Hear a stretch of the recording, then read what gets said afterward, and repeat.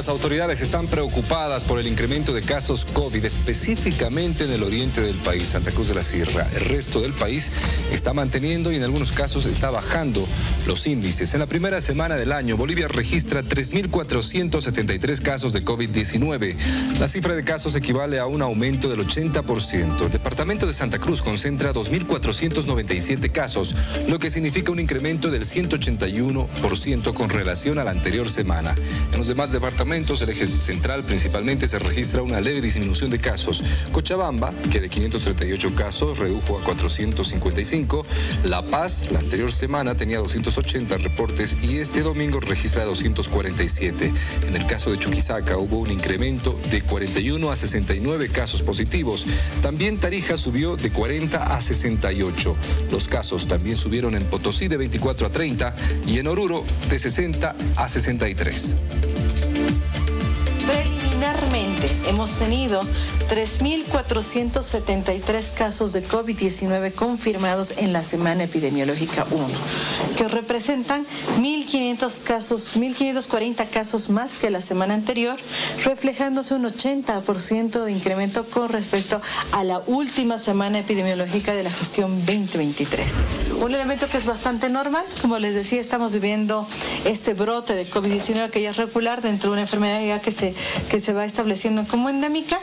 Los departamentos que hemos estado incremento, en este caso ha sido Santa Cruz, que de la semana 52 tenía 888 casos, ha pasado a tener 2.497, significa 1.609 casos más que la semana anterior, representando un incremento de 181%.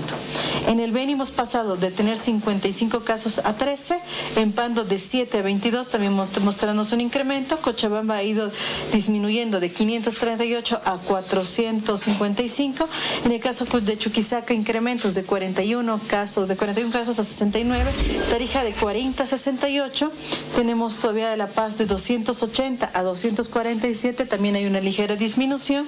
En el caso de Potosí tenemos incremento de 24 a 39 casos y en el caso de Oruro una breve elevación de 60 a 63 casos, sumándose el total de casos que ya refería a su momento.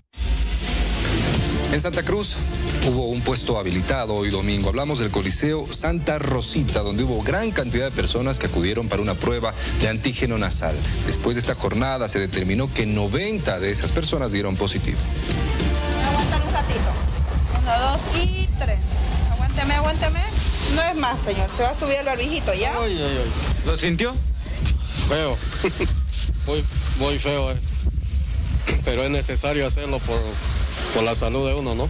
Estoy un poco resfriado de hace tres días y no sé. El coronavirus ataca nuevamente Santa Cruz. En este punto de detección, hoy, de 192 pruebas que realizaron, 90 salieron positivas. ¿Sentido algún síntoma? Eh, malestar general, ¿no? Pero es para descartar. Con los eventos de fin de año, ¿no? Primero de enero. Ah, ¿Lo está haciendo por prevención? Coméntalo. No, eh, sentido, digamos, este, aquí como un nudo, ¿no ven? O sea, y con flema, como hay la susceptibilidad de, de esta ola que está llegando, entonces más vale prevenir que lamentar, ¿no? Mire, yo vengo a hacerme un análisis porque y he tomado cuatro vacunas y vamos a ver qué da, si da positivo o negativo, ¿no? ¿Su barbijo? Ahorita pues no, no, no está obligatorio el barbijo todavía, creo, ¿no? Voy a hacerme la prueba para detectar si tengo COVID-19. Lo primero que tengo que hacer es llenar esta planilla de registro de paciente. ¿Qué más prosiga? Eh, le va a llenar los datos la doctora, todos los datitos de usted. Le vamos a pedir que se baje su barbijito, va a mirar al frente y me va a aguantar un ratito que para que podamos hacer la pruebita. Uno, tres. No es más. Colóquese su barbijito, vamos a esperar entre 10 minutitos para que le podamos dar resultados. Puede haberle realizado la pruebita que se coloca con el hisopo, se saca la muestra y se coloca no en estos en estos buffers y luego se coloca lo que es el taco El taco, por ejemplo, ya ahorita ya está marcando, ¿no? Y ya le ha salido lo que es negativo, ¿no? la pruebita. La actualización de datos que han dado positivo aquí en este punto de detección de COVID. Ya. Hasta ahorita estamos haciendo 192 este, pruebas y de las cuales 90 han salido positivas de todo lo que es el turno domingo. Cuando se le dice que tiene positiva a la persona, ¿cómo reacciona?